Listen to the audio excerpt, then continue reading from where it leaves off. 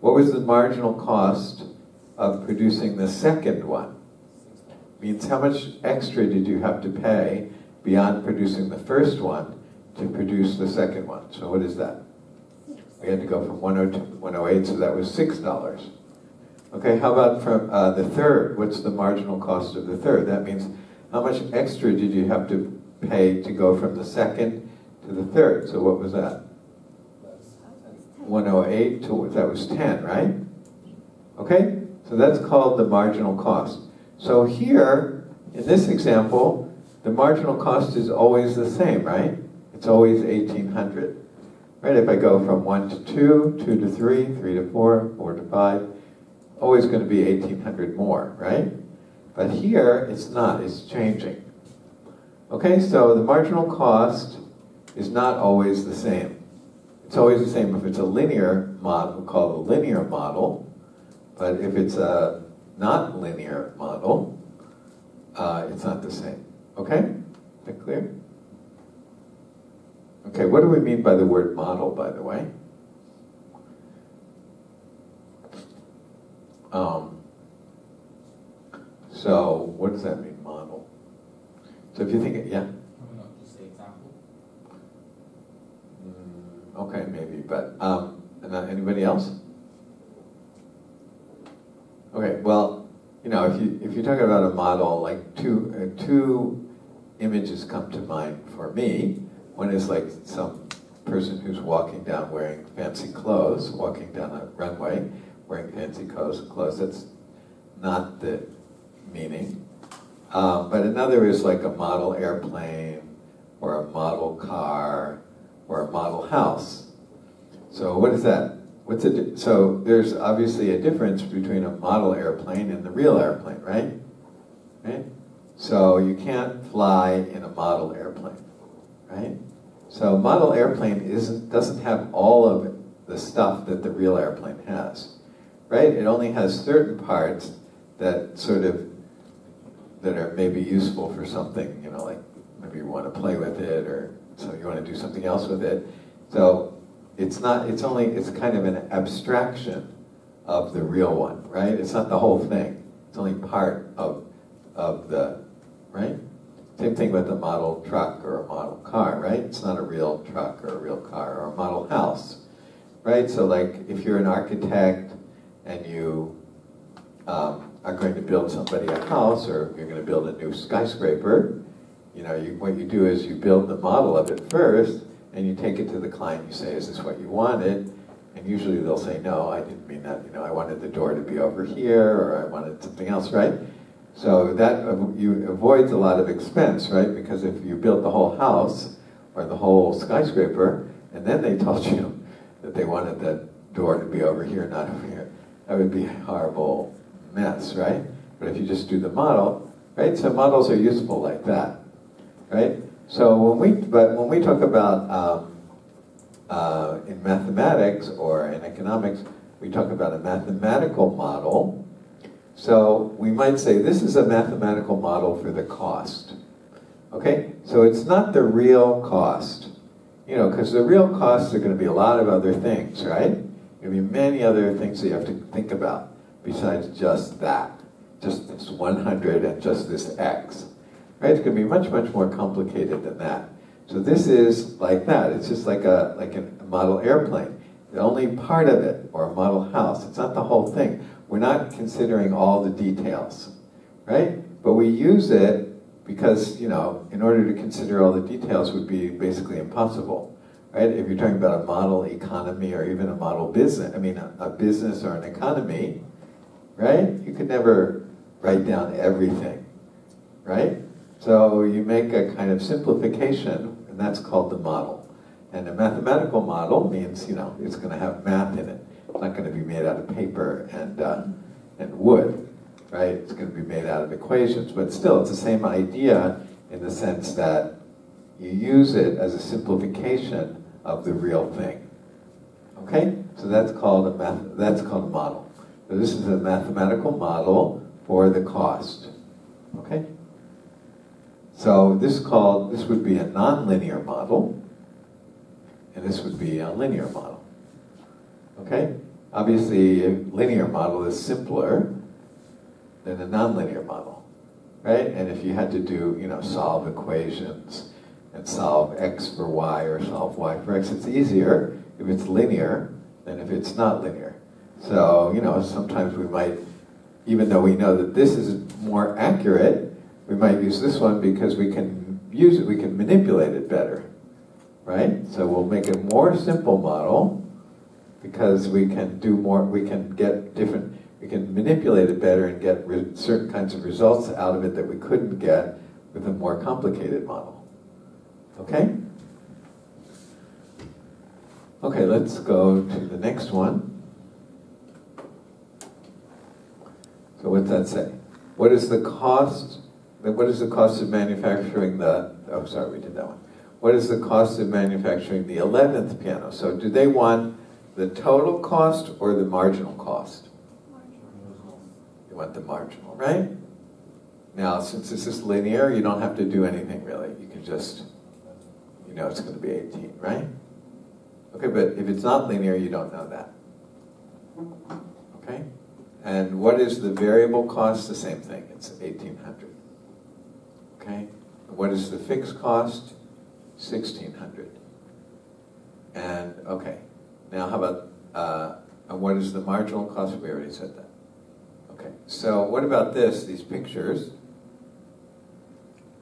Which one is the best representation of the cost function? So obviously, we already saw that the cost function is increasing. So you can immediately say it can't, shouldn't be this one and it shouldn't be this one, right? So you just knock those out. Okay, so then the other two are these two, so which is the right one? So this one looks like the y-intercept is negative, right?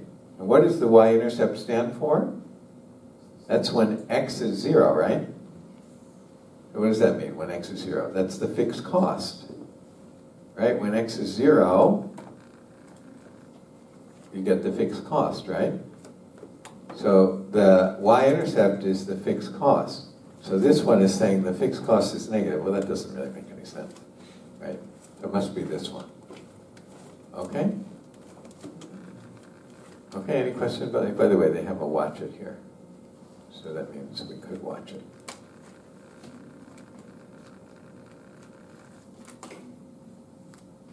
Let's see if this works. Cost. A piano manufacturer has a daily fixed cost of $1,200 and a marginal cost of $1,500 per piano. Find the cost, C of x, of manufacturing x pianos in one day. Use your function to answer the following questions. On a given day, what is the cost of manufacturing three pianos? Okay, so we, we did that. Okay, but they do have watch it here. Okay? So you can use that. All right, so these are all uh, some of, okay, those two were the same. Now this one's a little bit different. So here you have your newspaper, the newspaper, and the production costs are $72 per edition. So this is confusing, you know. It's kind of confusing. Does that mean, are we producing editions or are we selling, are we producing copies? It's kind of annoying, right? But anyway, what they're talking about is they're producing, there's uh, copies, right? So you have just one edition, and then how many copies are you going to make within that edition? So I don't know why they have to make it this complicated, a little, I mean, extra complicated. But anyway, so it's um, 41 cents per copy, and this is what? What's this called? The fixed cost, right? This is the fixed cost. And what's this? That's the selling price. Okay? So the what's the um, what's this? C of x. $72 plus 0.41 x, right? Okay. Now, the next concept is the revenue. Okay, revenue is another word, we didn't use that yet. And that just means how much you're getting. how much is coming into you. It doesn't, it ignores the cost. So what is that? What's the function for the revenue? It's, yeah, 61 cents per copy, so that's what? 0.61x, right? So this is going to be 0.61x, right? Okay? All right, is that clear? Because this is, you're selling it for 61 cents per copy. Okay? Next thing is what? The profit. Right? So what's profit? It's the it's how much is coming in, which is revenue, minus how much you have to pay out. Right? Let's write this down by the way. What is this?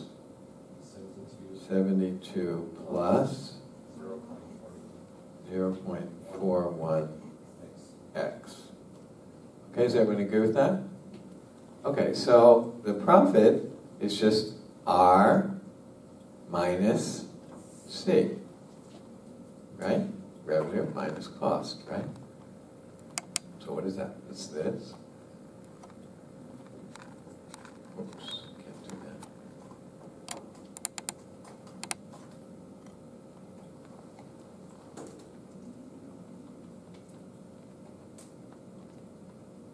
Minus, no, sorry, did that wrong. So it's this. Minus that. I don't know if they want you to leave the parentheses in there or not, but it's that, right? Okay? So that is called the, now, actually, we should simplify it. Right? We can do this and this term together, right? So we can simplify it. So that's going to be the profit function.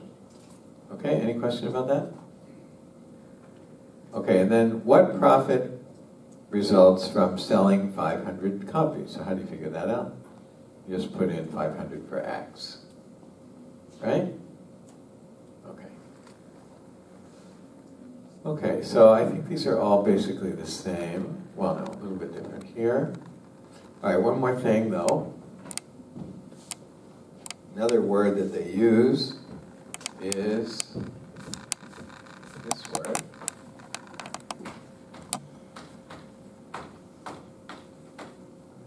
And what does that mean? Break even? So if you say you broke even, it means like you didn't um, lose and you didn't win. Okay? So in terms of this business situation, it means you didn't lose money and you didn't make money. You broke even. You didn't, right? Okay? So basically that's when the profit is zero. Okay? When the profit is zero, you didn't make any money and you didn't lose any money. Okay? So, but let's do, we didn't make the revenue function, but what was the revenue function before?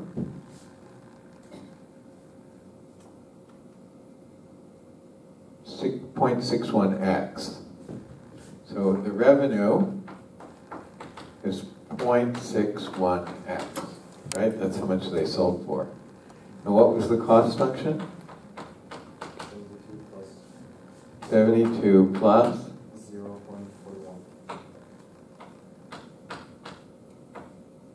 Okay? Everyone agree with that? Okay, now let's um, plot the cost function. So let's put a 72 here. Okay, so what's it, what's it going to look like? It's just going to be a straight line, or starting from here, right? And what's the slope of this line going to be? 0.41, right? So let's draw that. Let's say that's the slope. Okay? So this is the cost function. What's the revenue function look like? So what's the um, y-intercept here? Zero, right? There's no y-intercept. I mean, the y is y zero, right? So it starts here, right? But what's its slope? 0.61, which is which has a greater slope, R or C? Uh, R does, right? So, so this one is going to have a greater slope than this one. So it's going to start lower, but it's going to have a greater slope. So it might look like that. Okay? So that might be R. Okay? So how about here? If we uh, sell this many, then the revenue is here, right? That's the revenue there. Right? And the cost is where? Here. That's the cost. Right? So there's more cost than revenue. So that's called losing money, right? Right? You're losing money. On the other hand, if you're up here, then your cost is here, but your revenue is up here. So what? Your revenue is more than your cost, so that's called making money, right? Profit. And where is the break even? That's when you don't lose or make any money. That's when the revenue equals the cost, right? So that's here. Okay, so this is the, um, let's call it um, X, B, E. Okay, that's the number that you have to sell in order to break even. Okay?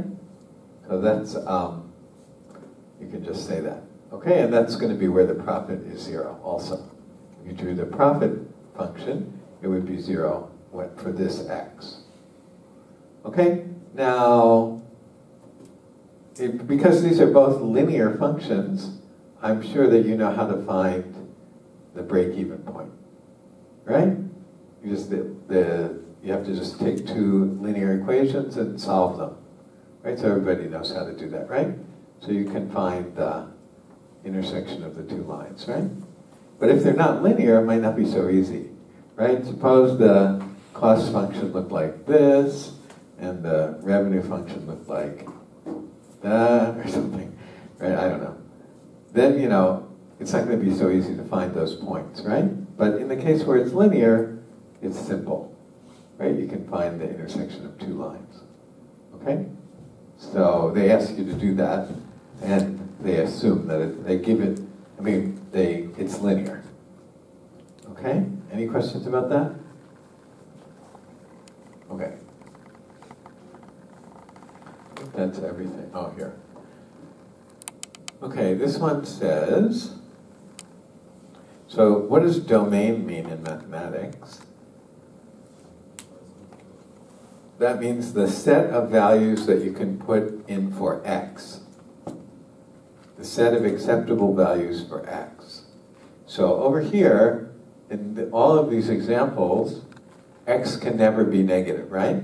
That's, so we say negative numbers are not in the domain. Okay, and actually, you know, x can't be, we don't, we're not going to manufacture 1.88888 pianos, right? So x can't be fractions either. Okay, but anyway, at least we can certainly say that x can't be negative. Okay, so the domain doesn't include negative numbers. Okay, so that's what the word domain means. So let's look at this example. The hourly operating costs of a plane, again, they throw in a lot of extra, oh, what should I say? What's that? Um, when when uh, somebody when a plane is go- is going to bomb somebody, they sometimes they throw out all this other stuff to make the um, anti anti what's it called the anti missile systems get confused, right? So they throw out a missile this way and a missile that way, so that uh, anti missile systems you know get confused and they think oh that's the plane or that's the plane right to me, right? so they're what's that called? It has a name. I can't think of it. But anyway, it's like uh, distractions, right? So they're throwing in a lot of distractions here. Okay, so try to get rid of, try to see through this distractions and just pick out the important math stuff or important part to the problem. So here it says the hourly operating cost of a plane which seats up to 405 passengers is estimated to be, okay, so what, what is all this? So this is about the operating cost of a plane. Okay? And the, how many seats are there in the plane? 405. Okay? And uh, cost per hour is this. Okay, and I guess what they're saying that it doesn't matter whether there's one person on the plane or 400 people on the plane, the cost is the same, which isn't quite true, right? Because the gas will be different, right? 400 people weigh a lot, right? So that's gas. But anyway, they're, they're ignoring that. So this is again like a model, right? They're ignoring details. Okay? If an airline changes, charges its passengers a fare of $100 per hour, okay, I don't know if airplanes charge per hour, but maybe they do. I don't really know. Um, so find the hourly profit uh, it earned as a function of the number of passengers. Okay. And they're saying the variable cost is zero. Okay, that's what, remember we said that doesn't sound realistic, right? Because the cost, if you have 400, it's going to cost more than if you have um, one, right? But they're saying, no, just ignore the variable cost. So in other words, they're saying that this is the fixed cost, but there is no variable cost. But it's hard to see that because they're talking about hourly costs. It's like, huh? It's all, I think it's kind of confusing. But anyway, what they're finally saying, if you really think about it, is the, vari- the fixed cost is that, and there's no variable cost. Okay, they said that. So